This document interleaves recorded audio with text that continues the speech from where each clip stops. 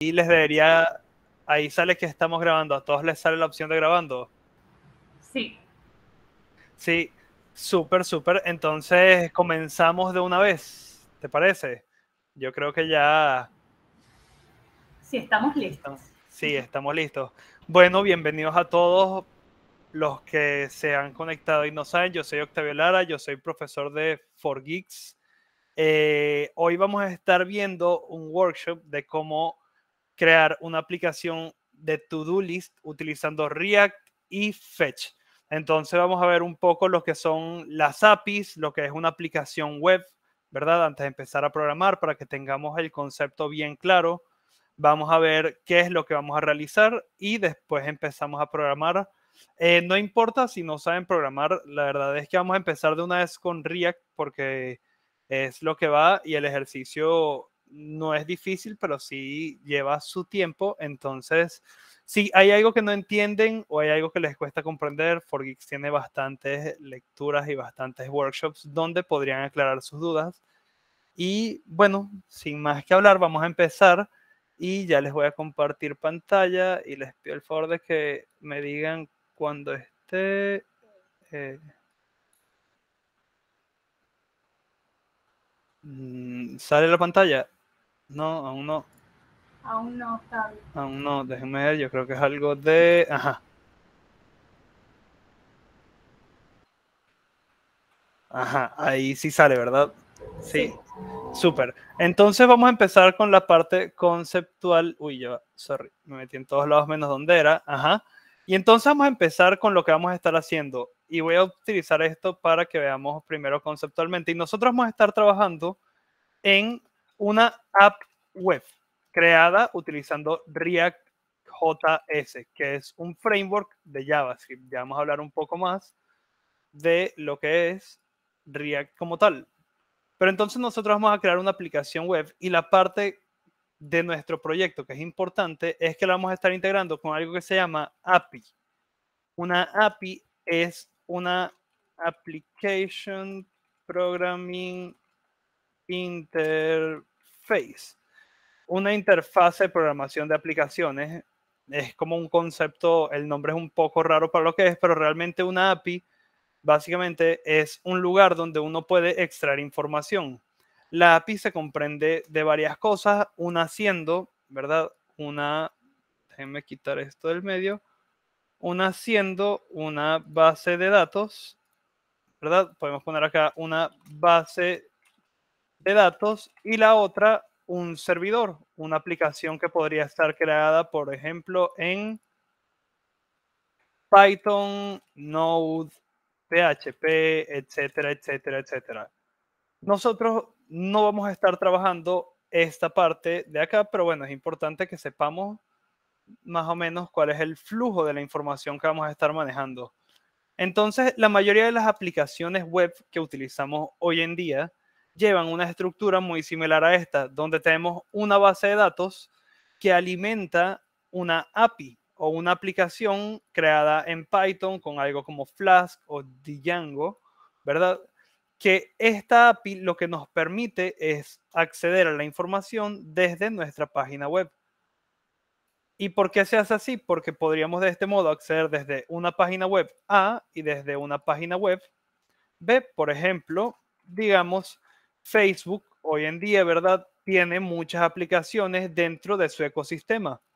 Y ellos obviamente no, tienen una base de datos para cada aplicación, porque si se dan cuenta, yo abro sesión en Instagram, en Facebook y en WhatsApp utilizando los mismos datos para todas las aplicaciones y están vinculadas todas a la misma cuenta.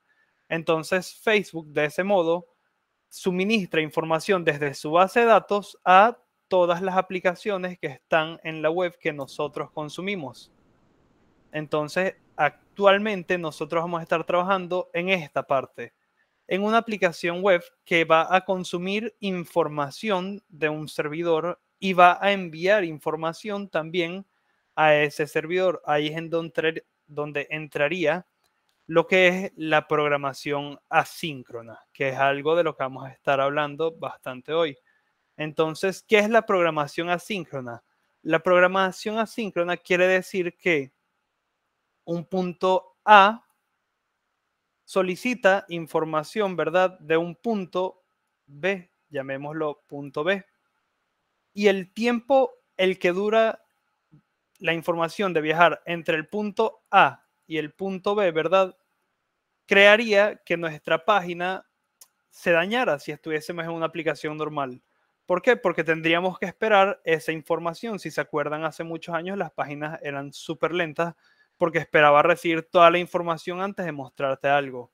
Hoy en día, ¿verdad? Las páginas funcionan de forma asíncrona, que quiere decir que la información viene desde B hasta A y ya tú sabes que eso va a tomar un tiempo y tú le indicas a la aplicación que va a haber un vacío, que la información que debería ir acá aún no ha llegado y que va a llegar.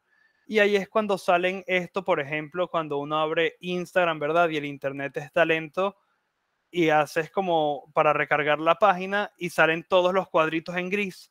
Eso es que tu aplicación está buscando información del API y la está esperando y por eso te muestra esos cuadritos gris. Entonces, habiendo hablado de eso, ¿verdad? De más o menos cuál es la estructura de una aplicación que viene la información desde una base de datos, pasa a través de lo que es una API y por último, llega a nuestras aplicaciones web en el Internet, ¿verdad? Aquí en nuestro navegador o podría ser también una aplicación mobile como Instagram lo es. Entonces ya viendo eso, vamos a hablar de lo que es React, un poco de lo que es React. Y React, para los que no lo sepan, es un framework de JavaScript. ¿Y qué es un framework? Se preguntarán. Un framework, vamos a anotarlo por acá para que tengamos la palabra, un framework es un set de herramientas y reglas que te da para construir una página o una aplicación, en este caso página porque es lo que vamos a estar haciendo. Entonces un framework es un set de herramientas y reglas que nos dan para construir una página. Ustedes dirán, bueno, un set de herramientas y reglas suena como complicado, pero es para simplificar nuestra vida ellos simplifican mucho de las cosas que nosotros tendríamos que hacer paso por paso, pero a cambio tenemos que seguir sus reglas. Entonces es un toma y dar. Nosotros acatamos las reglas de React y ellos nos dan un set de herramientas con los que podemos construir fácilmente una aplicación web. Entonces, para no caer mucho en la teoría y entrar de una vez en el código, ¿verdad? vamos a ver cuál es el proyecto que vamos a estar trabajando. Y el proyecto que vamos a estar trabajando es la aplicación de To-Do List usando React y Fetch. Y vamos a crear una aplicación de To-Do List. Para el que no lo sepa, una aplicación de To-Do List es una de las aplicaciones más comunes que los programadores frontend, sobre todo, realizamos. ¿Y por qué digo frontend? Porque es algo que normalmente se hace en un entorno visual como lo es JavaScript, React, Vue, etcétera, de herramientas de frontend. Entonces es algo muy común que la gente hace y es una muy buena práctica porque te permite practicar lo que son eventos, funciones, componentes, renderizado, etcétera, de herramientas que vamos a estar aprendiendo durante este tiempo. Entonces, vamos a ver el repositorio o el proyecto en el que nos vamos a estar basando para, bueno, mejor dicho, para hacer este proyecto, vamos a utilizar una plantilla que 4Geeks tiene creada. La plantilla se llama React Hello. Yo se las voy a pasar por acá directamente para que después, ¿verdad? Los que quieran hacerlo, lo hagan. No tienen que hacerlo actualmente. Y si nosotros queremos trabajar este proyecto, ¿verdad? O ver cómo se ve este código, podemos ir en nuestro navegador al repositorio. Y si no saben lo que es un repositorio, un repositorio es un proyecto de programación que está básicamente empaquetado. Está empaquetado para ser compartido, distribuido, etcétera, de cosas. Entonces, este es el proyecto y para iniciarlo tenemos varias opciones. Si no tenemos un entorno configurado en nuestra computadora con Node, tenemos que trabajar desde algo que se llama CodeSpace. Si ustedes abren acá en esta pestaña que dice Code, en, en el link que les pasé, les va a dar la opción de abrir un CodeSpace. Y si abrimos un CodeSpace, él nos va a abrir un entorno de trabajo digital. Y así no tenemos que trabajar en nuestras computadoras personales. Esto ya en un segundo van a ver, pero él se encarga de correr todos los procesos que necesitamos durante el desarrollo. Entonces, si ven, toma un poco cargando, eso puede ser por mi internet, aunque ha estado bien, pero bueno, esa es una posibilidad. Entonces, yo lo voy a trabajar de manera local para no tener que estar peleando con el internet. Entonces, yo voy a copiar, ¿verdad? Si tenemos nuestro entorno local preparado para trabajar el proyecto, yo puedo copiar este link que me da acá y en mi terminal, ¿verdad? Déjenme abro la terminal, que no sé por qué no la tengo acá abajo, terminal. Ya abro mi terminal y voy a crear un nuevo proyecto. Si no están en el curso y no han visto las clases de Git o no saben lo que es Git, no van a poder seguir estos pasos, ¿ok? Así que es importante que si quieren seguir estos pasos, busquen sobre Git y si están en el curso, que esperen a ver Git. Entonces yo voy a clonar ese repositorio y lo dejé abierto para que veamos que va a ser básicamente lo mismo. Entonces yo voy a clonar este repositorio y vamos a trabajar en él.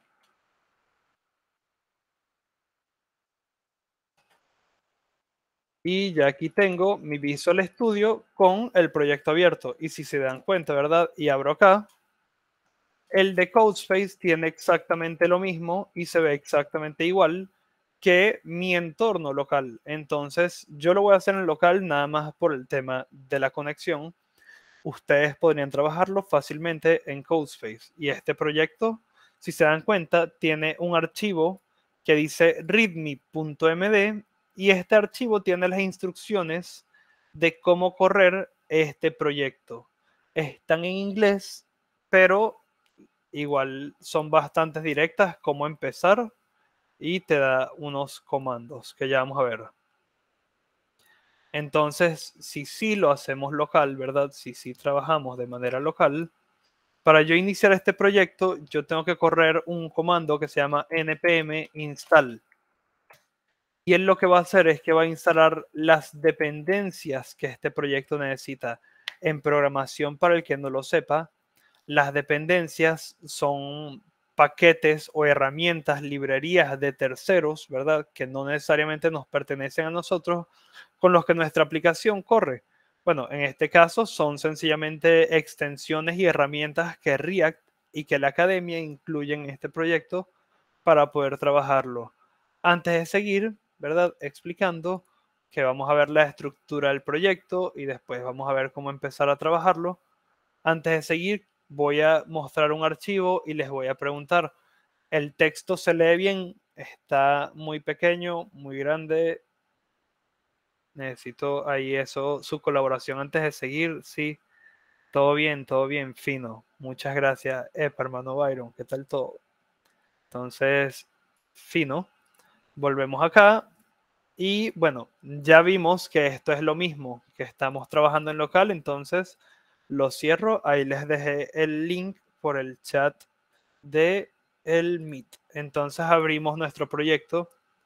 Y ahora, antes de empezar, ya viendo eso, vamos a revisar nuestras instrucciones. Y aquí me dice cómo empezar a programar. Bueno, tienes que correr el comando instalar los paquetes. Disculpen, me pide que instale los paquetes con npm install. Ese comando lo tengo que ejecutar en mi terminal Nuevamente, tienen que tener el entorno de Node instalado. Si no saben instalar el entorno de Node, porque también debe tener lectura sobre eso. Y si no, al final del curso, pues, al final del workshop, perdón, pueden preguntar tranquilamente y yo les puedo indicar instrucciones o guías donde podrían ver cómo se instala. Entonces, yo voy a instalar mi proyecto y voy a hacer npm install. Y él va a instalar los paquetes en mi computadora, ya lo había corrido. Y nuevamente, y ahora me dice, para correr el servidor, tienes que ejecutar el comando npm run start.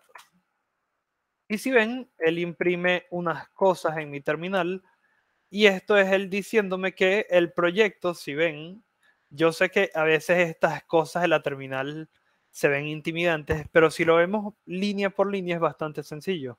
Miren que el primer, la primera línea es project is running at y nos da una dirección. HTTP localhost 3000. Esa es la dirección donde vamos a estar trabajando nuestro proyecto. Para yo abrir la aplicación, ¿verdad? Y ver cómo se ve en el navegador, yo le voy a dar control clic a localhost y miren que ya aquí abre lo que sería mi proyecto de React. ¿Cómo sé que este es mi proyecto de React? Bueno, ya vamos a ver la estructura de este proyecto, pero primero hablemos básicamente que ya sabemos que React es un framework. También es importante saber que React fue desarrollado por Facebook y en un momento fue desarrollado por Facebook para manejar la parte de las publicidades, aunque no lo crean. Ahí fue en donde empezó toda la historia y quería comentarles que yo no voy a profundizar mucho en la historia de React porque nos importa más el código y aprender, pero en YouTube hay un excelente documental que habla sobre la historia de React. Si buscan documental React en YouTube, hay un documental de 40 minutos excelente que te explica el por qué, qué fueron los cambios que trajo al mercado y por qué es tan relevante aún hoy en día, a pesar de que ya tiene 10, 11 años, quizás, no, yo podría creer que 10 años tiene React. Entonces, React es el framework que vamos a estar utilizando por el mayor motivo de que es el framework más popular y se sigue viendo como que va a ser el más popular a futuro por lo fácil que es de aprender, por lo fácil que es de trabajar y por lo versátil que es. Entonces, si vemos este proyecto de React, tiene muchísimos archivos que al principio podrían parecer raros, confusos, pero vamos a olvidarnos de la mayoría porque la mayoría de estas carpetas son, son disculpen, son carpetas de configuración. Tienen configuraciones del proyecto, tienen configuraciones para correr en Visual Studio, tienen configuraciones para correr en CodeSpace y son cosas que no necesitamos ver por ahora. Nuestro trabajo va a estar dentro de la carpeta SRC, que es donde está nuestra aplicación como tal. SRC es una convención de nombrado en el mundo de la programación y básicamente es source. SRC por source, por el código fuente de nuestra aplicación. Entonces, si abrimos esta carpeta, vemos que tenemos una carpeta de imágenes, una carpeta de JS, que es JavaScript, y una carpeta de estilos, que es CSS. Si no conocen CSS, CSS es un lenguaje de programación para crear estilos visuales, o sea, para hacer diseños de páginas. CSS significa Cascading Style Sheets eh, hay muchísimo que aprender sobre CSS. Nosotros hoy vamos a estar usando Bootstrap en vez de CSS. Y esta plantilla ya viene incluida con Bootstrap, porque miren que si abrimos nuestra página principal de la aplicación, nos sale que si ves este botón en verde, Bootstrap está trabajando. Y abajo dice que es hecho por 4Geeks Academy con amor. Muchas gracias, 4Geeks. Entonces tenemos que Bootstrap ya lo tenemos instalado. Bootstrap es un framework, nuevamente un framework es un set de herramientas, pero de CSS, que nos permite crear diseños muy sencillamente. Entonces, vamos a abrir la carpeta de JavaScript, que es en donde de verdad vamos a pasar nuestro tiempo hoy. Y si JavaScript tiene una carpeta que se llama component y un archivo index.js. Los archivos, para que lo sepamos a largo plazo, index.js suelen ser el punto de entrada de las aplicaciones. Y para que lo sepamos también, el punto de entrada suele significar eh, donde se crea la aplicación como tal. Y si vemos, este archivo tiene primero que nada una importación desde React que de nuevo es la librería, el framework que vamos a estar utilizando. Entonces importamos React desde React e importamos React DOM desde React DOM. Estas son las dos librerías de React que nos permiten crear una aplicación de React. React y React DOM. Entonces, si vemos acá abajo, iniciamos la aplicación. Aquí dice que renderizamos nuestra aplicación. Vamos a cambiarlo eso por un término que podamos iniciamos nuestra aplicación. E iniciamos nuestra aplicación con React DOM, ¿verdad? El fragmento de React que nos permite crear la aplicación y el hace render. Si no sabemos lo que es render o renderizar, renderizar básicamente es mostrar en pantalla, ¿verdad? Colocar en pantalla. Entonces, React nos permite, aquí estamos renderizando algo que se llama home, ¿verdad? No sabemos qué es ese home, pero ya vamos a ver qué es. Y si tenemos noción de JavaScript básico, vamos a ver que tenemos document.querySelector y seleccionamos app. Entonces, este es el archivo de inicialización de aplicación de React y la mayoría de archivos que veamos van a ser muy parecidos a este. Si ven, es súper corto y súper básico. No tiene nada que realmente nos muestre qué es nuestra aplicación. Él sencillamente inicializa con React DOM la aplicación. Y este primer elemento que tenemos acá, este home, se llama componente. Y componente vamos a llamar a todo elemento, a todo elemento de React que podamos ejecutar. Podría ser.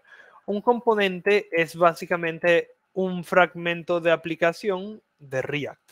Entonces vamos a ver cómo se ve el home para que entendamos quizás qué es lo que quiero decir. Y si abrimos este archivo y vemos, tenemos, bueno, primero que nada, nuevamente la importación de React, porque es nuestro framework y siempre tenemos que importarlo. Y si vemos acá abajo, hay un comentario que dice incluye imágenes.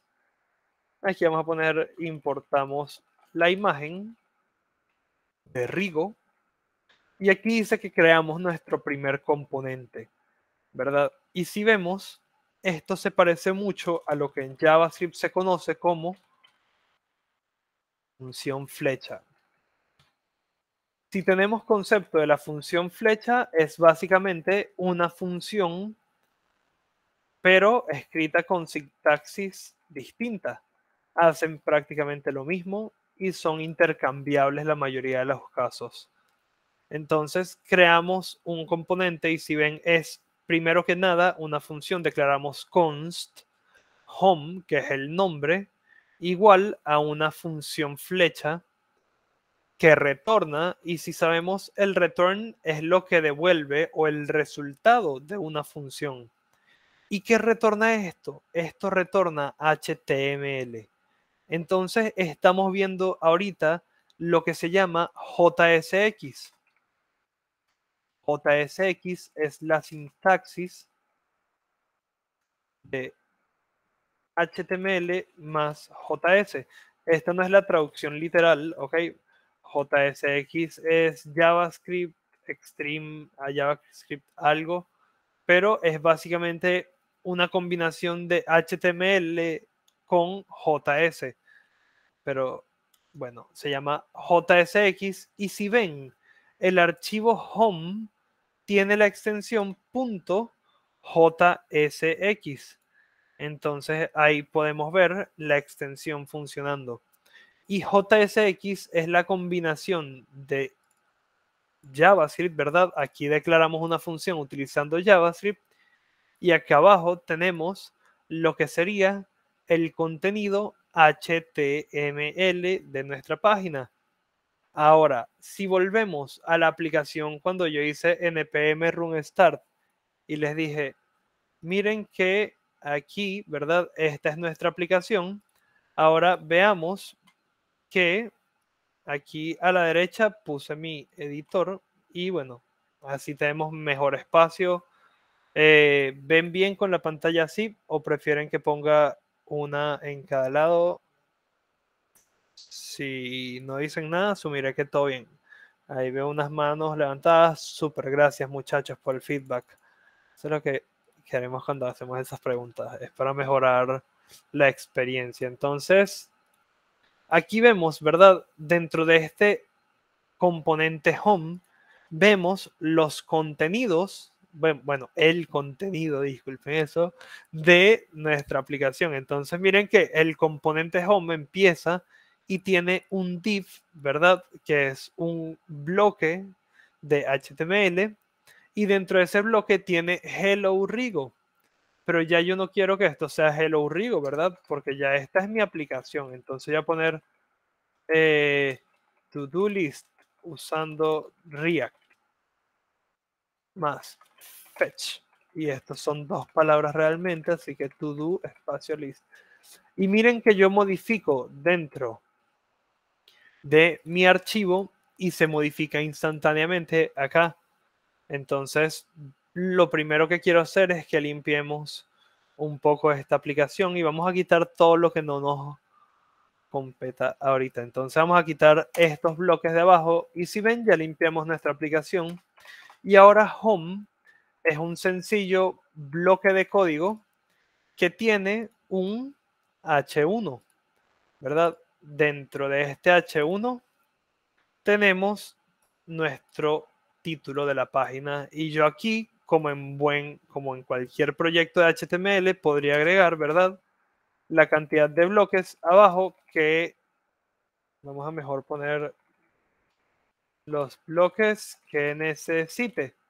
Y pueden ser PES, pueden ser DIP, puede ser todo lo que yo vaya a necesitar para programar mi aplicación. Vamos a dejarlo nuevamente acá, ¿verdad? Entonces ya vimos que home es donde vamos a estar trabajando. Entonces, lo siguiente que yo quiero hacer, ¿verdad? Es identificar que es un to-do list. Para los que no lo sepan, ¿verdad? Y nunca hayan visto un ejercicio de to-do list, es una lista de tareas donde puedes agregar y remover tareas de la lista. Y esto se puede hacer utilizando información local, pero nosotros hoy vamos a estar haciéndolo con integración a una API. Pero primero vamos a ver las bases. Entonces, vamos a ver que lo primero que nos dice es que es una lista de tareas donde puedes agregar y remover tareas. En JavaScript, ¿verdad? Bueno, donde puedes agregar y remover tareas, eso quiere decir, ¿verdad? Vamos a hacer una pequeña maqueta y vamos a poner una lista, ¿verdad? Vamos a poner una UL, que significa lista desordenada, ¿verdad? Un ordered list. Y vamos a poner un LI con nuestra primera tarea que diga pasear al perro. ¿Verdad? Y ahora vemos que tenemos una tarea que dice pasear al perro. Y ahora yo puedo hacer otro LI que diga pasear al gato. ¿Verdad? Y después otro que diga LI pasear a la tortuga. Y bueno, a esto alguien podría decir, ajá, pero esto ya es una lista de tareas. Y Octavio está agregando y removiendo tareas, ¿verdad? Puedo agregar pasear a la tortuga dos veces o puedo remover los dos pasear a la tortuga. Pero obviamente eso no es lo que vamos a creer que nuestra aplicación haga, porque la idea es que la persona o nosotros podamos desde la página web agregar y remover las tareas. Entonces, para eso tenemos dos problemas grandes tenemos un problema, ¿verdad? Que es que necesitamos recibir información. ¿Y cómo recibir información? Si esto fuera una lista de tareas, yo tuviera que tener un lugar de mi página donde yo escriba y especifique cuál es la tarea que voy a agregar a mi lista, ¿verdad? Entonces, si sabemos algo de JavaScript y HTML, podríamos pensar que ahí lo que necesitamos es lo que se llama un input, ¿verdad? Que es un elemento HTML usado para recibir información. Y si pensaron eso, ¿verdad? Estaríamos en lo correcto. Entonces vamos a agregar acá un input. Y bueno, nos pone un cuadrito de texto, ¿verdad? Y ya yo puedo, dentro de ese, dentro de ese cuadrito, en teoría, escribir, ¿verdad? Yo puedo poner acá todo lo que yo pueda necesitar. Podría poner pasear a la tortuga. Bueno, ya yo tengo un lugar donde puedo recibir información. ¿Qué más necesitaría? Bueno, necesitaría también, ¿verdad? Poder indicar cuando quiero agregar la información. Correcto, porque no nada más necesito que el usuario escriba dentro del input, necesito que en un momento dado el usuario diga, ok, esta es mi tarea, ahora necesito guardarla en mi lista. Entonces necesitaríamos también, ¿verdad? Un botón o algo que permita al usuario hacer la acción de guardar la tarea. El método preferido y el método normal es botón, ¿verdad? Y podríamos poner acá un botón que diga agregar tarea. Y ya esto nos pone nuestros, nuestro botón y nuestro input uno al lado del otro. Bueno, voy a poner esos dos dentro de un div nada más para organizar mejor mi código. Y ya ahora uno podría escribir acá y tienes tu botón fino. Ahora ya tenemos básicamente una estructura fea, arcaica, ¿verdad? Todo lo que ustedes puedan creer, esto parece una página de los años 80. Los 80 no eran página web, por si acaso, obviamente sarcasmo, pero eh, parece una página web súper antigua.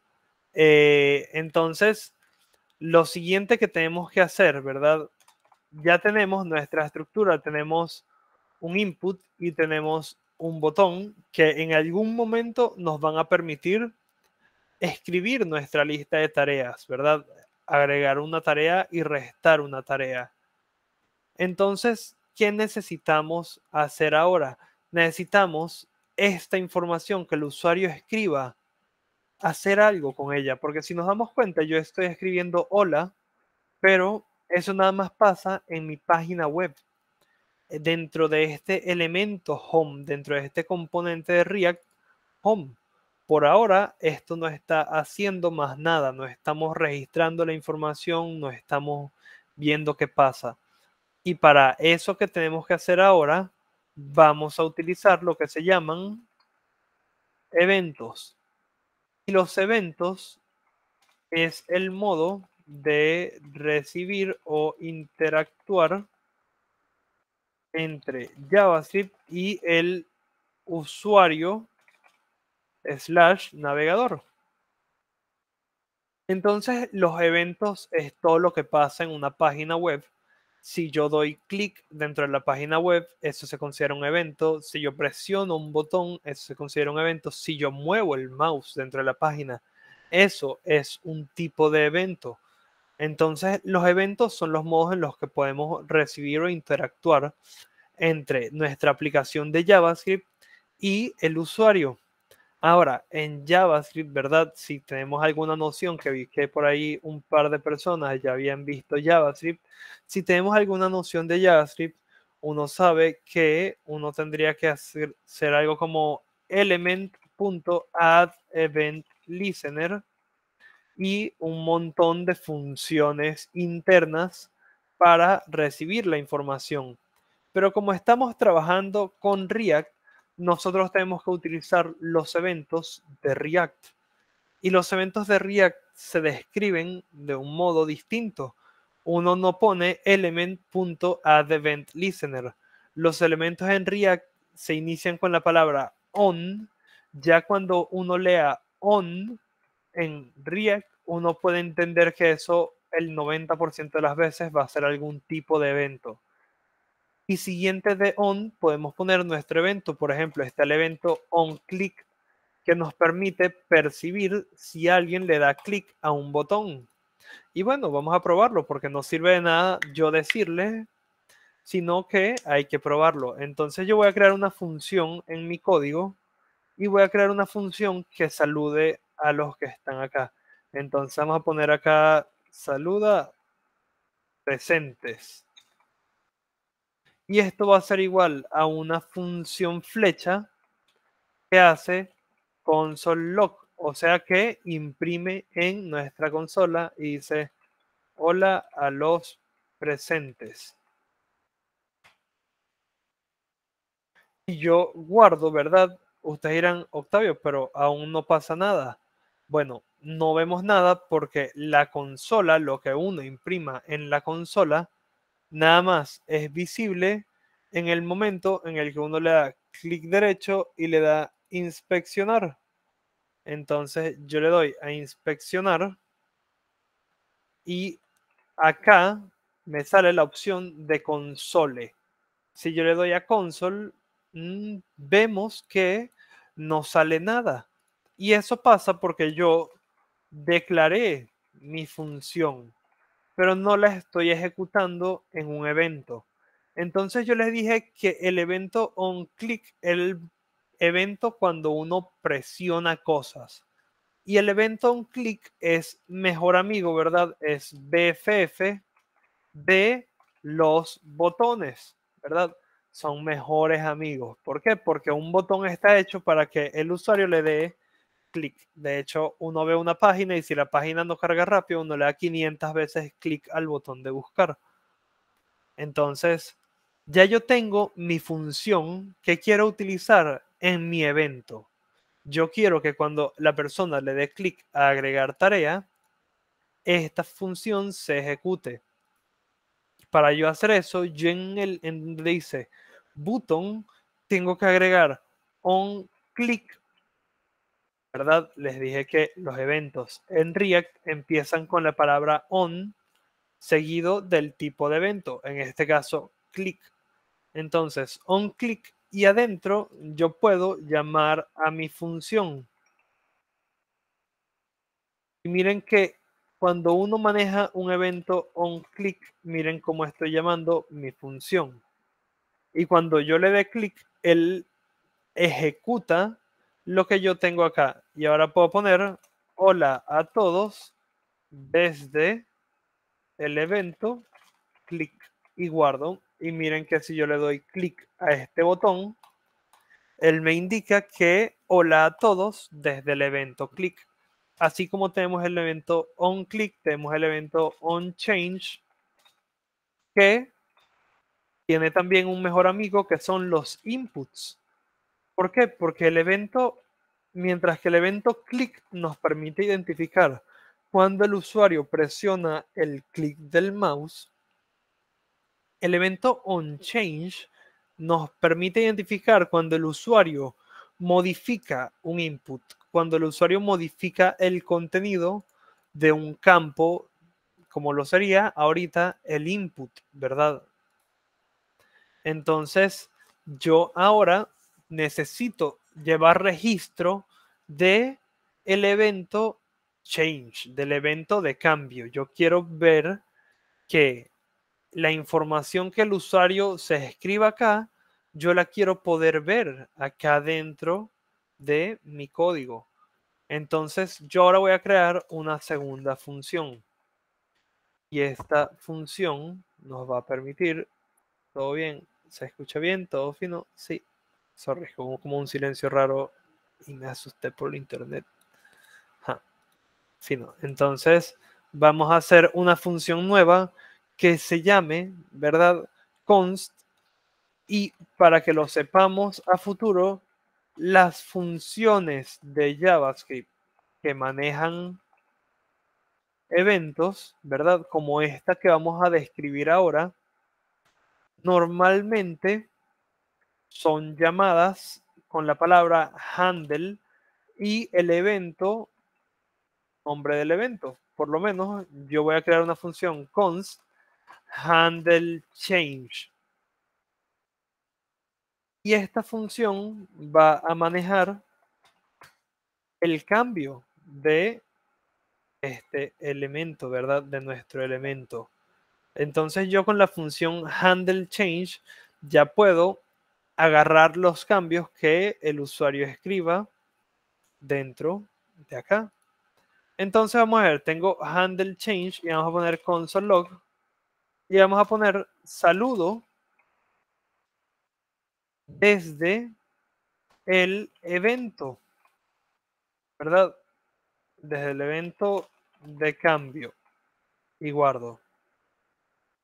Y ahora esta función de evento se la tengo que agregar a mi input que es tipo texto. Entonces yo voy a poner acá una función on change y voy a agregar la función handle change.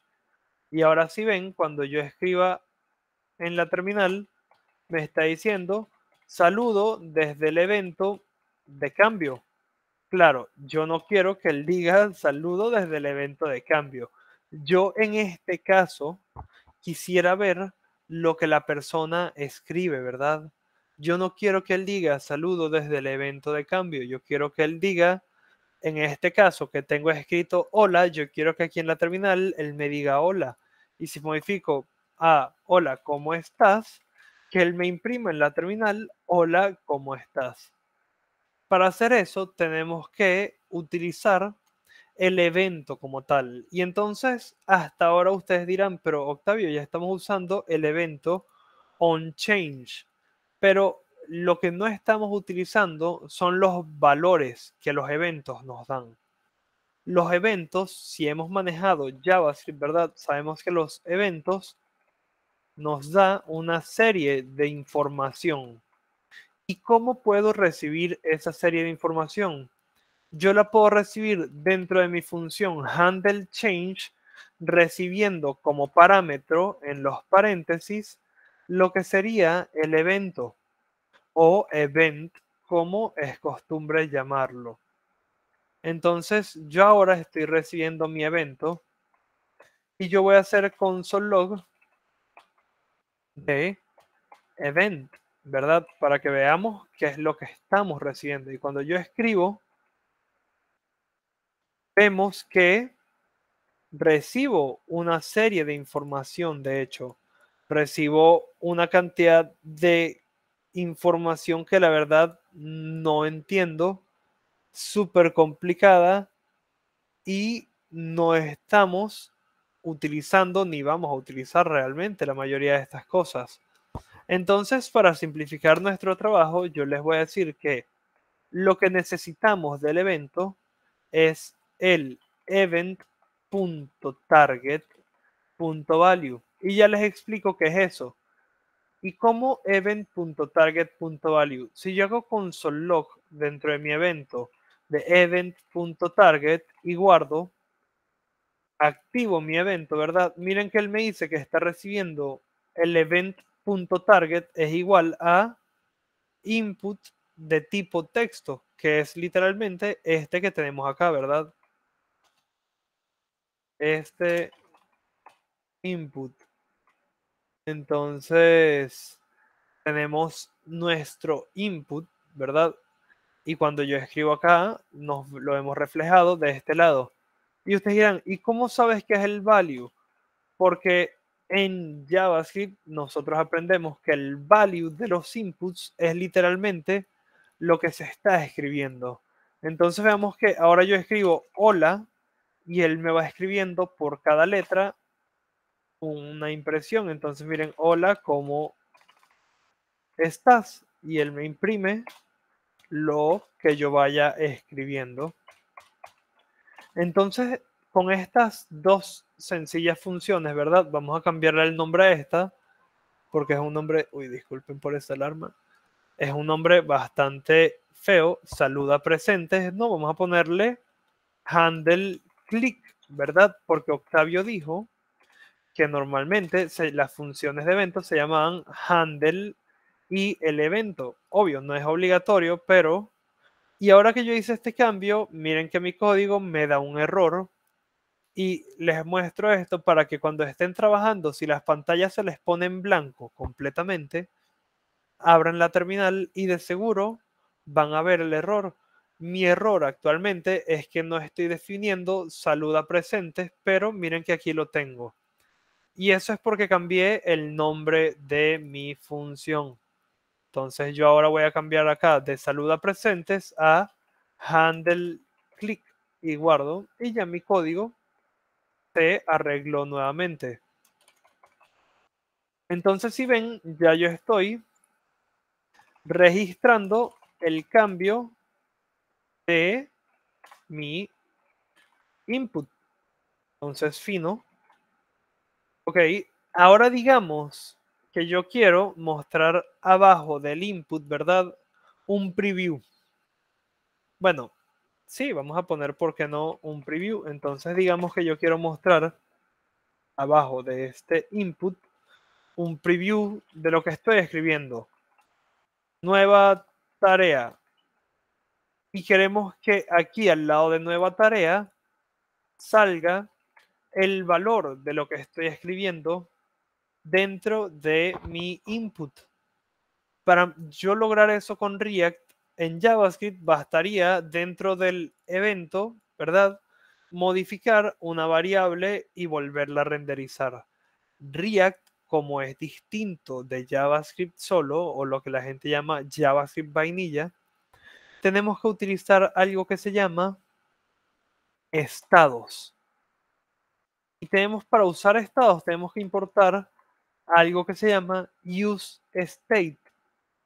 ¿Y qué es lo que nos permite el estado? El estado nos permite tener variables dinámicas. Y lo que quiero decir con dinámicas es que empiezan con un valor y debido a un evento, bien sea disparado por el usuario, como escribir acá, o por nosotros, algo que hagamos en una API, modifica lo que se está mostrando, ¿sí? modifica el contenido de la página. Entonces, vamos a ver eso en función y vamos a declarar acá primero que nada una variable y vamos a ponerle let eh, nuevo to do y hacemos que esto sea igual a un string vacío. Y digamos que queremos que este nuevo to-do sea lo que vamos a modificar con el handle change, sea la tarea nueva que vamos a agregar, ¿verdad? Y entonces yo pongo acá nuevo to-do dentro de llaves. Y si ven, para uno en, en React mostrar valores de una variable en JavaScript, por lo menos nuevo to do, que yo puedo poner acá tarea de ejemplo, ¿verdad? Para yo mostrar el valor de esta variable en React, yo tengo que envolverlo dentro de llaves. Y así de sencillo lo muestro junto con mi HTML. Entonces tengo ya aquí nuevamente HTML viviendo al lado de JavaScript actualmente. Y ahora uno pensando con lo que sabe de JavaScript, ¿verdad? Podría decir, oye Octavio, pero podríamos modificar, ¿verdad? El valor del nuevo to-do utilizando el handle change y que cuando la persona escriba dentro del input se modifique el valor de tarea de ejemplo. Y yo te podría decir, sí, qué buena, qué buena idea. Y ahora yo podría hacer, ¿verdad? Nuevo to do que sea igual a event.target.value. Si se acuerdan, event.target.value es el valor de lo que estamos escribiendo dentro de nuestro input. Entonces, aquí yo estoy haciendo un console log del valor y abajo del console log del valor estoy modificando el valor de nuevo to do. Entonces, si uno lo pensara con la mentalidad de JavaScript, ¿verdad? Y no con la de React, uno creería que cuando yo modifique este input de acá, lo que dice tarea de ejemplo va a cambiar. Y realmente miren que si estoy registrando el evento porque aquí en mi consola me imprime exactamente lo que tengo escrito dentro del input, hola, ¿qué tal? Y una carita feliz.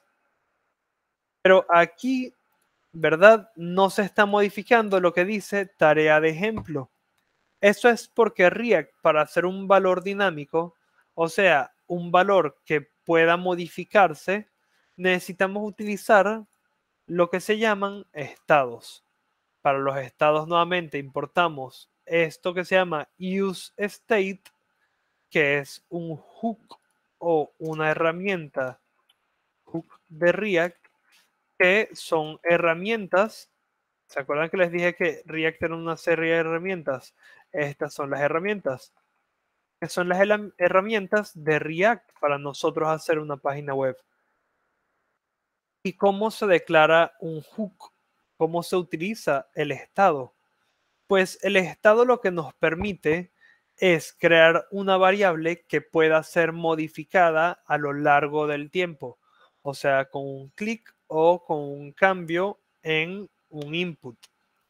Entonces, yo ahora lo que tengo que hacer es redeclarar nuevo to-do, pero como si fuera un estado. Entonces, para redeclarar nuevo to-do como si fuera un estado, yo primero que nada lo voy a comentar y dentro del código voy a declarar una variable nueva y van a ver que esta variable se nombra de una forma distinta a lo normal. Entonces, para nombrar un estado, nosotros tenemos que crear la variable, una variable con const o con let y dentro de corchetes o de estos brackets cuadrados, escribir el nombre de la variable nuevo to do, coma, y aparte crear una función que se llame set nuevo to do. Y esto va a ser igual a use state y dentro de comillas vamos a dejarlo vacío por ahora para explicar qué es esto. Entonces, el estado en React comprende dos cosas. El valor que vamos a mostrar, que sería nuevo to do, con una función para modificar ese valor. Correcto, que sería en este caso set nuevo to do. Y entonces si se preguntan cómo funciona eso, imaginémonos que nuevo to do es un caucho, ¿verdad? Un neumático de un carro de carreras. Y set nuevo to do es la llave que usan los del pit para cambiar esa llave, ese neumático. El neumático puede ser cualquier tipo de neumático, ¿verdad? No tiene que ser exactamente el mismo tipo, pero igual nada más puedes utilizar una llave para cambiarlo. Entonces, si ese ejemplo creo que sonó mejor en mi mente, entonces básicamente tenemos una variable y una función para modificar esa variable y únicamente, únicamente a través de esta función es que la podemos modificar. Entonces, yo sé que podrá sonar confuso si aún no hemos visto React, pero vamos a ver cómo se traduce eso a la práctica. A la práctica se traduce que yo tengo actualmente nuevo to do. Y nuevo to do es mi tarea de ejemplo, ¿verdad? Vamos a poner tarea ejemplo. Y yo estoy imprimiendo nuevo to do. Y miren que nuevo to do es exactamente lo que yo le paso dentro de estos paréntesis. Ok, vamos a ver una última vez. Entonces tenemos nuestro estado, ¿verdad? Que es el valor del estado, lo que vale este estado. Y tenemos set state, que es una función para modificar lo que vale este estado. Tienen una relación uno a uno, o sea, este estado solo puede ser modificado por esta función y esta función únicamente sirve para modificar este estado. Y esto es igual a useState y adentro de los paréntesis del useState va el valor, bueno, vamos a poner valor inicial. Entonces, si ven, mi estado empieza con un valor inicial de tarea de ejemplo. Si yo modifico acá y pongo tarea nueva, lo que está acá adentro cambia a tarea nueva. Pero, ajá, Octavio, hasta ahora igual no hemos modificado tarea nueva, ¿verdad? O nuevo to do con nuestra función handle change.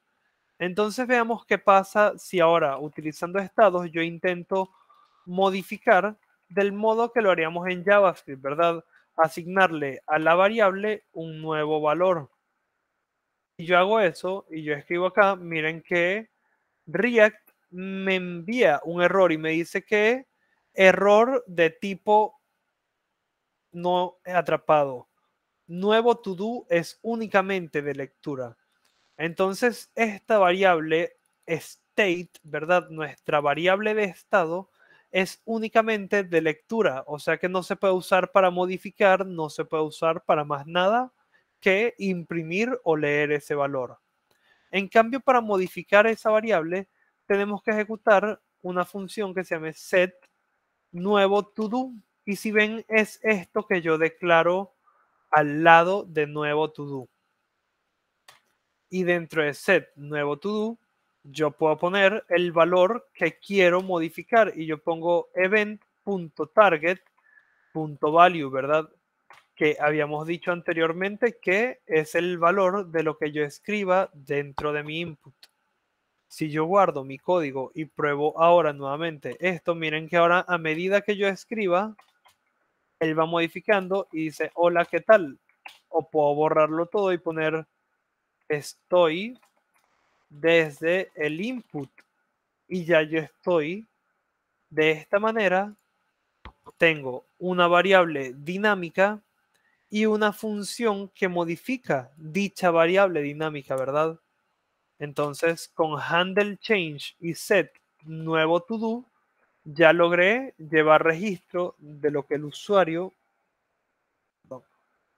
de lo que el usuario escribe en este bloque. ¿verdad? Escribe en nuestro input.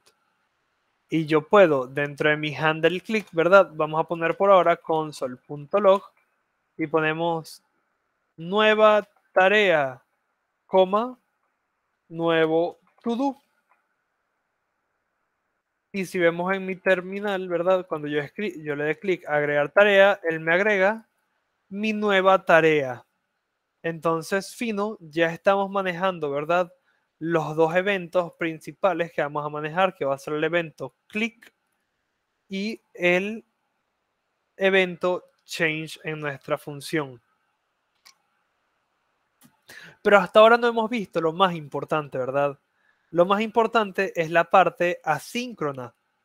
Si se acuerdan, les dije que nosotros íbamos a integrar esto con una API. Entonces la API que vamos a estar utilizando la pueden ver acá dentro de este repositorio. Y si vemos aquí dice clic para acceder a la documentación del to-do list.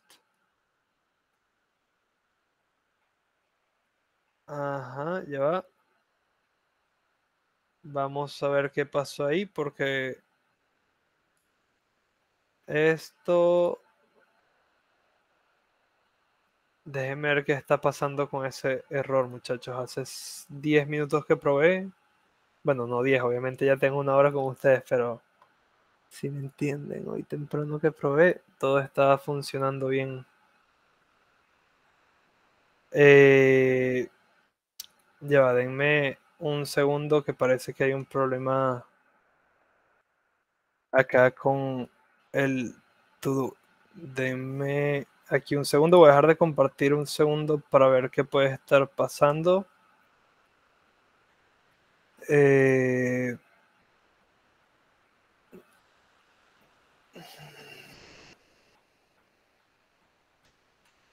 ya ahí dejé de compartir, ¿verdad? Sí.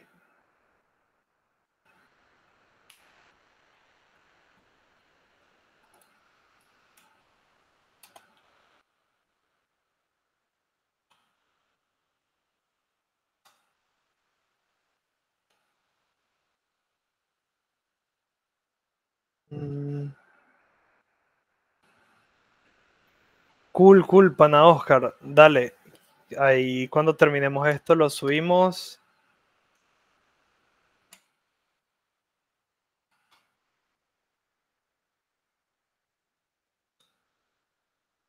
Eh, ya muchachos, que esto, esto es lo que pasa cuando uno trabaja en vivo. Este tipo de cosas pasan acá. Cara.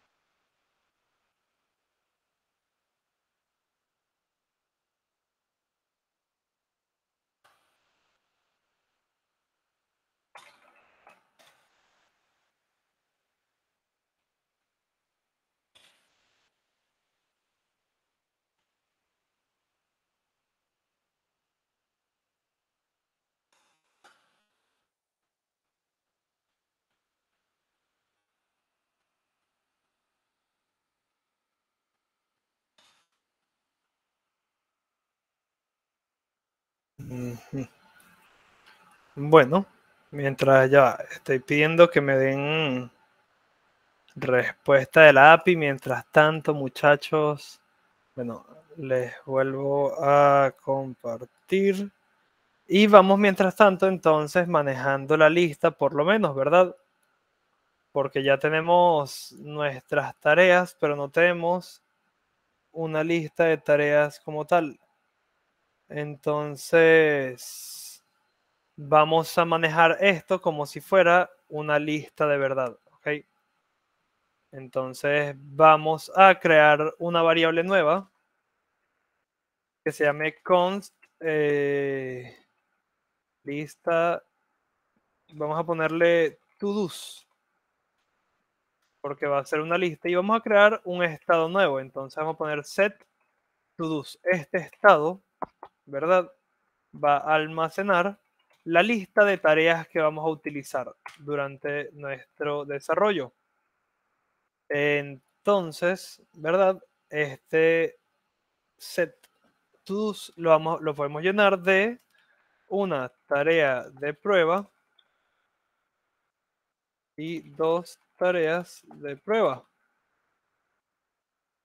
Entonces, ahora ya tenemos una lista de tareas, pero no podemos agregar, no hemos usado esta lista de tareas que creamos, ¿verdad? Entonces, para mostrar esta lista, en vez de pasear al perro y pasear al gato, que son tareas bien, bien chimbas, ¿no? Son bien normales, bien de humano, vamos ahora a utilizar esta lista y cómo nosotros podemos mostrar una lista o un array dentro de React. Lo podemos hacer utilizando lo que sería la función map. Entonces yo aquí donde va mi lista, ¿verdad? Donde van los elementos de la lista. Y vamos a agregar acá, ¿verdad? Eh, lo que sería una función map. Entonces, para los que no lo sepan, el map nos permite ejecutar un código por cada elemento en una lista, ¿verdad? Es como si tuviéramos una lista de estudiantes y a cada estudiante le quisiéramos sacar el promedio, ¿verdad? Una en Excel agarraría todo, lo pondría todo fila por fila y sacaría rácata el promedio. Pero aquí, para nosotros poder hacer una función sobre una lista en React, tenemos que utilizar map. Entonces yo puedo usar todos.map y map recibe una función flecha que en React retorna un elemento. Entonces aquí retornamos un LI, ¿verdad? Porque es nuestro list item. ¿Y qué vamos a mostrar? Pues el map dentro de este paréntesis del map, nosotros recibimos lo que sería el to do o cada elemento, ¿verdad? Este to do va a valer cada elemento de nuestra lista uno por uno. Y si yo dentro de llaves escribo to do acá, y guardamos, tenemos una tarea de prueba y dos tareas de prueba, que son los que yo puse dentro de mi lista. Si yo quisiera agregar otro más, pondríamos tres tareas de prueba, ¿verdad? Y ahora me sale una tarea de pruebas, dos tareas de pruebas, tres tareas de prueba. Entonces ya tenemos, ¿verdad? El estado del usuario, lo que nos permite rastrear si él está escribiendo y tenemos también nuestra lista como tal de tareas. Ahora, para yo poder agregar una tarea, ¿verdad? Esta tarea que estoy escribiendo a esa lista, yo tendría que dentro de mi handle click, ¿verdad? Hacer algún tipo de operación que me permita, en vez de imprimir nueva tarea, agregar un elemento nuevo a la lista de tareas. Y eso se puede lograr utilizando una sencilla fórmula que es muy normal usar en React. Que entonces lo que vamos a hacer es set to-dos, ¿verdad? Que es nuestra lista de tareas. Y vamos a poner acá al principio, ¿verdad? ¿Y qué va a ser igual to-dos? Va a ser igual a todas las tareas anteriores y el nuevo to-do. ¿Ok?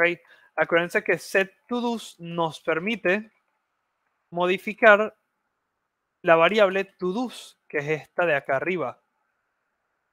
Y lo que yo le estoy asignando, le estoy asignando un spread operator de la lista, coma, con nuevo to que es la tarea nueva. Entonces estoy asignándole a todos todas las tareas anteriores y la tarea nueva. Eso de todas las tareas anteriores y la tarea nueva es muy común en React porque estas funciones de set to do y set nuevo to do no modifican el valor anterior, sencillamente lo reemplazan. Entonces, si yo escribo esto de este modo y yo aquí agrego una tarea nueva y le doy a este botón, miren que ya yo estoy manejando mi lista de tareas mi lista de tareas a nivel local, ¿verdad? Y para borrar esta lista de tareas, ¿verdad? Para borrar un elemento de mi lista de tareas, lo que tendría que hacer es muy parecido a esta función, ¿verdad? Entonces ya tengo una función que maneja el evento y una función que maneja el evento click para agregar tareas a mi lista de tareas. Entonces, ahora lo que me haría falta a mí para que esta lista de tareas estuviese completa, excepto por la API, ¿verdad? Sería crear acá una función que borre una tarea. ¿Y cómo puedo crear una función que borre una tarea? Yo puedo hacer const delete task y aquí creamos una función, ¿verdad? Que borre la tarea que queremos, la tarea actual. ¿Cómo la podemos borrar? Bueno, podemos borrar la tarea poniéndole aquí al lado del to-do, ¿verdad? Podríamos poner un botón que diga borrar. Y sorry que no le ponga muchos estilos, muchachos, pero yo creo que es más importante el contenido como tal que los estilos por ahora. Entonces, tenemos ya nuestra función que borra una tarea. ¿Y cómo podría yo borrar esta tarea? Pues en los map, aparte de pasar al elemento actual, también pasamos su índice. Y si saben, el índice es la posición del elemento, ¿verdad? Entonces, para yo borrar esta tarea utilizando este índice, es lo que yo tendría que hacer porque con el índice yo determino la posición del elemento del arreglo y sé cuál borrar. Entonces, ahora yo tengo que crear, agregar aquí a este botón mi función on click. Y aquí vamos a pasar, ¿verdad? Dentro de mi función click, vamos a llamar a handle eh, ¿cómo lo llamé? Perdón, a delete task. O bueno, vamos a ponerle delete to do. Tiene más sentido con lo que estamos haciendo. Vamos a buscar la función delete to do y le vamos a pasar el índice, que es un parámetro. Decimos el índice acá y hacemos console log de delete to. Ah, perdón, de índice. Y ahora cuando yo le dé clic a estos botones, ¿verdad? Y le dé borrar, miren que él imprime su posición en la lista. Le imprime 0, 1 o 2.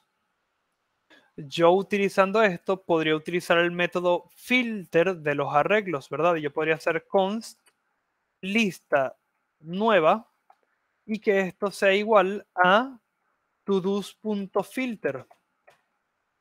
Todos.filter recibe la tarea actual e el índice y hacemos que retorne, ¿ok?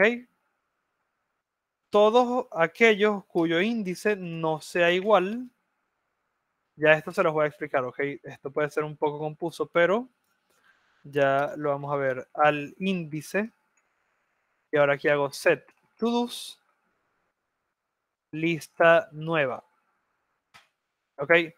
Y vamos a desglosar todo esto que hice porque puede ser un poco confuso. Exactamente, todo funciona. Quería probar que funcionara antes de explicar porque si no funciona explico quedó, quedó como muy mal, ¿no? Entonces, tenemos, ¿verdad? Que nuestra función delete to do recibe el índice de la tarea. El índice siendo su posición en la lista, ¿verdad?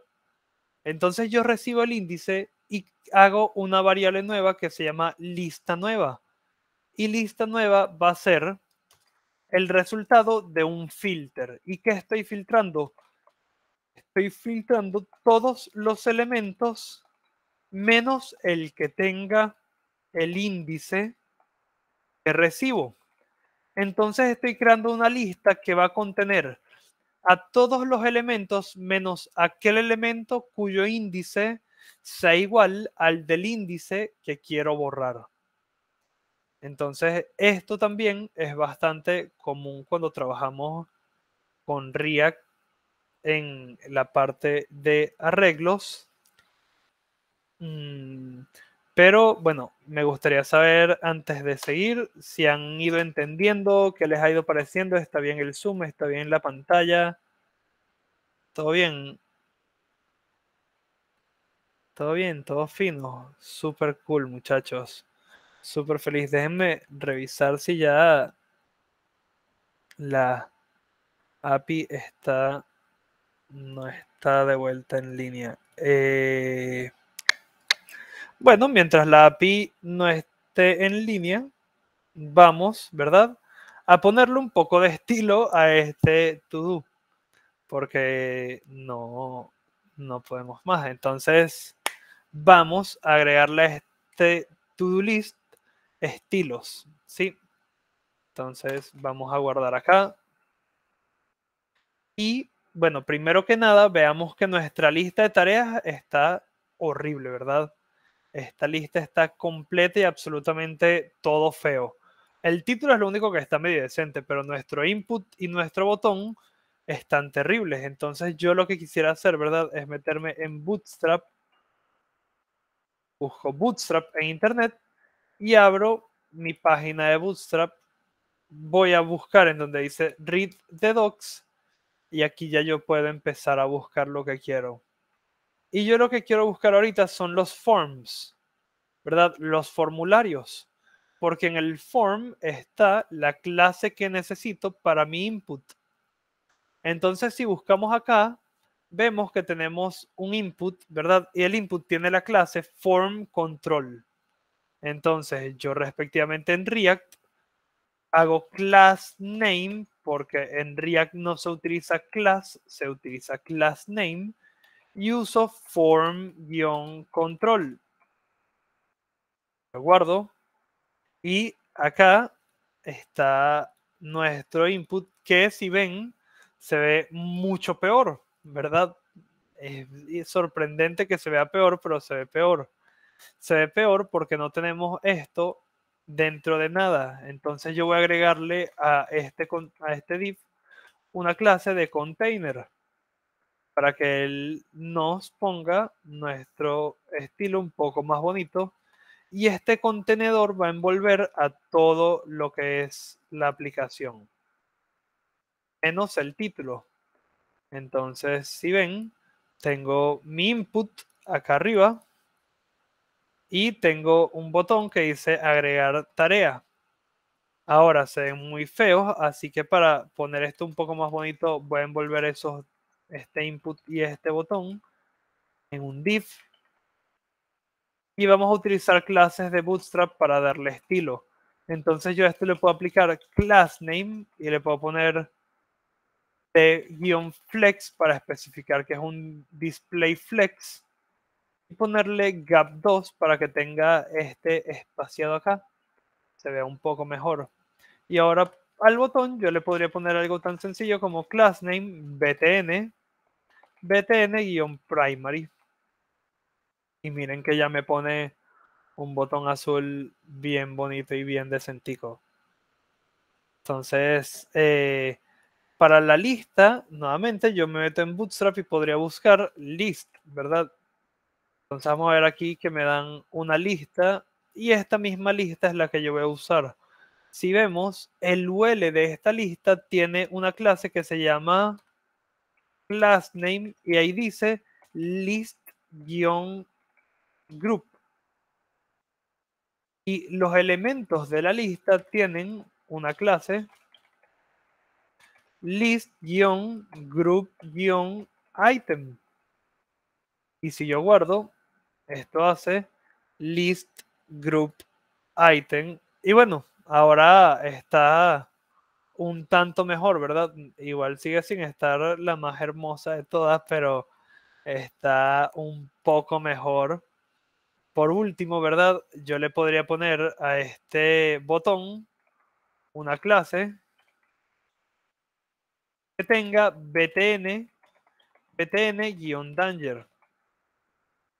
Con esto ya yo puedo establecer que bueno, mi botón sea rojo y si quisiera que se viera mejor, podría ponerle a este list item un display flex y ponerlo un justify content between para que los ponga cada uno a un lado y un align items center para que los centre en eje Y. Bueno, si ven ahí está, yo creo que mucho mejor que como estaba al principio. Yo puedo seguir agregando otra tarea más. Y miren que si yo le doy a agregar tarea, él me pone aquí esta tarea. Eh, aparte de eso, ¿verdad? Vamos a, por último, algo que me gusta hacer con las listas, no lo tienen que hacer obviamente, porque cada quien es libre pero yo no sé si han visto que hay listas que ponen tipo cebra, llamémoslo cebra entre comillas, que ponen un elemento gris y uno no tan gris. Yo quiero hacer eso con este y quiero que el elemento impar, ¿verdad? Que el elemento que sea par tenga ese estilo. Entonces, si sabemos algo de JavaScript, ¿verdad? Hemos visto lo que es el lo que es la interpolación de texto que me permite poner dentro de un string una variable o realizar código de JavaScript dentro de un string. Y yo aquí lo que voy a hacer es que voy a verificar si el índice dividido entre 2 es igual igual a 0, o sea, si el elemento es par, bueno, si el elemento es par, puedo poner un BG secondary y si no es par, puedo poner nada, un background normal.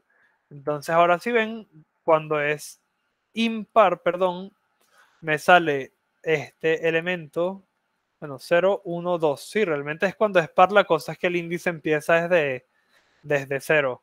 Entonces cuando el elemento es par, porque miren que índice 0, índice 1, índice 2, cuando es par pones este background secondary que no es muy bonito, pero podemos poner background light quizás y sí, ahí se ve bastante mejor y ya tenemos una lista de tareas que funciona localmente. Eh, voy a darle otro intento a esto para ver si no. Eh, bueno. Entonces me gustaría saber si tienen dudas. Eh, voy a mandar un par de mensajes para ver qué podemos hacer acá. Pero cuéntenme si tienen dudas con lo que hemos visto hasta ahora. ¿Ok? Si les ha parecido confuso, qué les, qué les ha parecido hasta ahora lo que hemos hecho. Ya la mayor parte de la aplicación eh, está hecha. Nos faltaría nada más la integración con la API. Entonces, bueno, me gustaría su input por ahora de qué les ha parecido esto. La integración con la API debería ser fácil, si la podemos hacer. Eh, pero eso, cuéntenme ustedes un poco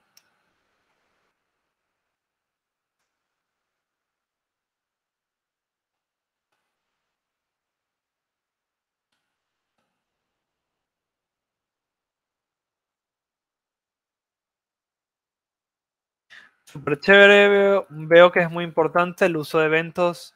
Sí, estimado Byron, el uso de eventos, los eventos definen a la web. De hecho, JavaScript tiene una peculiaridad de que la gente dice que es un lenguaje multiparadigma, porque dicen que está enfocado a muchas cosas, pero JavaScript en su principio es un lenguaje orientado a eventos. JavaScript considera la mayor cantidad de cosas, eventos, dentro de lo que podemos hacer. Entonces, eh, bueno, muchachos, aquí viendo que la API sigue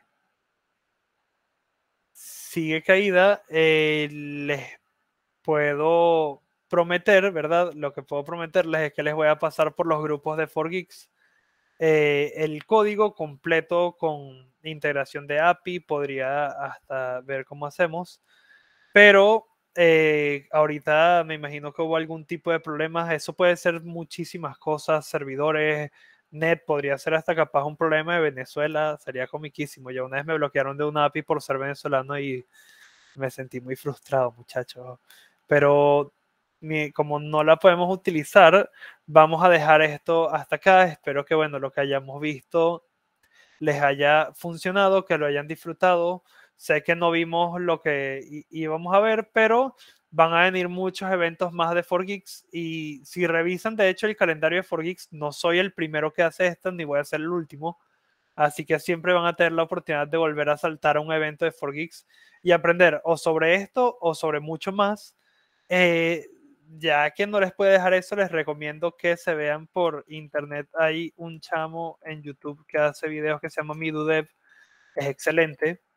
Entonces, hay una fuente aparte de 4Geeks, les recomiendo muchísimo a Midudev. Y si están estudiando en 4Geeks, no crean que, hay, que está mal ver cosas de fuentes externas. Es importante que aprendamos del modo que sea. Ese es nuestro futuro. Eh, bueno, eso es lo que hay.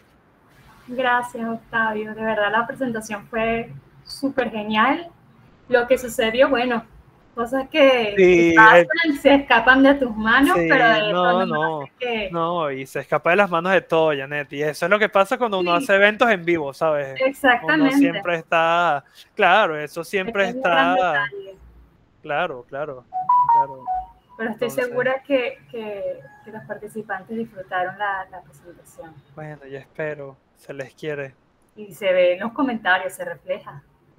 Los quiero, gracias, Pana Byron. Ahí él estudia conmigo, entonces se está ganando ahí que le corrija, al que le ponga un 20 en un proyecto. No, no, uno, muchas gracias por su tiempo y por su asistencia. Espero de verdad verlos por los próximos eventos. Estén atentos a las redes sociales y a Janet, que siempre está poniendo cosas y siempre está haciendo publicidad de estos eventos. Y muchas gracias, Janet, por tu tiempo. Gracias a ti y a todos. Gracias. ¿Detenemos la grabación? Eh, sí, ya la detengo, ya la detengo. Perfecto. Uy, disculpen. Ahí